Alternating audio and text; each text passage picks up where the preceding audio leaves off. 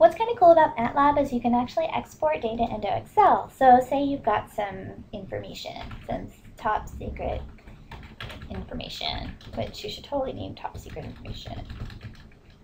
And then, all right, so there's my top secret information.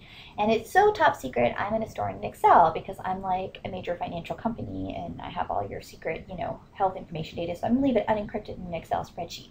So um, I'm going to use something called XLS write. And not to put too fine a point on it, all you have to do is you could say, you know, secret data. Or, you know, do not look .xlsx because now Excel's doing that. Um, and then you go top secret info and then you run it. And hopefully if you don't get over impatient over here you get on the right your little um, what's it called? Do not look xlsx if I right click it I can open it outside of MATLAB which is kind of nice. And see there's my data right there. Happy happy data. Okay so that was my data. Now believe it or not if you go into help XLS write, you can actually get a whole lot more ability to control a variety of things.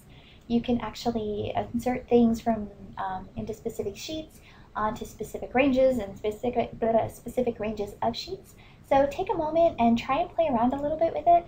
See if you can like um, insert, you know, more data. I don't care what data it is into um, a tab called, you know, kitties Okay, and by tab, I mean down here at the bottom you have sheet 1, sheet 2, sheet 3. So like theoretically, maybe you want that information into tabs. Okay, so into more data into a tab called kitties or um, insert into a tab called puppies, um, but start in cell D3. You know, so like instead of it showing up like here, you really want it like there. Okay, so just take a moment, play around with the um, built-in MATLAB help and see if you can get that figured out. So we're going to assume that you did that. Um, the next thing that we're going to do is, is try and do this. So actually, if you read through here, it's, it's pretty straightforward. Um, you can um, say, all right, well, I'm going to do XLS write. Ooh. And because I'm too lazy to write more data, I'm just going to take my current data and multiply it by 2 because that's my super secret encryption algorithm. And I'm going to put it into a tab called kitty. And if I try to run it, I think it's going to yell at me. It's going to yell at me because it's locked, because I have it open. so if this happens to you, it's because you have it open. So I have to come over here and I have to actually close it. Don't see. So now I'm going to run it again. Okay, so it's saying, hey, we added a specific worksheet. We wrote the new work. Well, I know that because they added a new tab called kitties. And then um, I'm actually going to do this again. I'm going to do new information. Um, I'm going to call it puppies but I'm going to start in cell D3. And um, I think that's about as crazy as we really need to get. But this is really cool because basically what you can do now is you could take information from MATLAB and you can export it over to Excel, which is probably what your boss is going to want to use anyway because they don't know how to code, um, which is why they're bossing engineers instead of actually being one. So um, anyway, you could you know, put in Excel and they'll be like all excited and think you're a genius.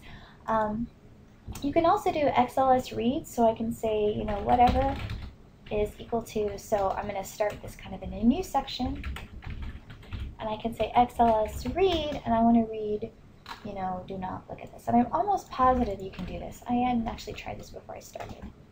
Um, there it is. So there's the original data.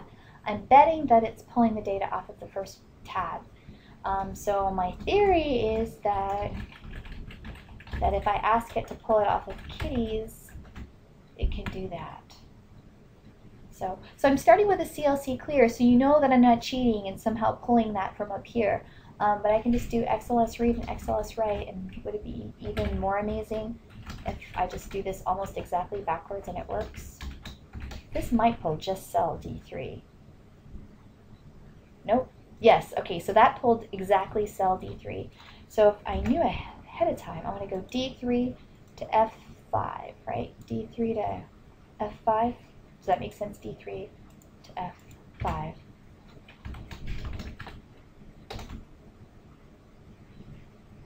Woot! Okay, so So that's how you can pull that information. So it's kind of cool because you can use MATLAB to write to Excel or you can use MATLAB to import Excel stuff.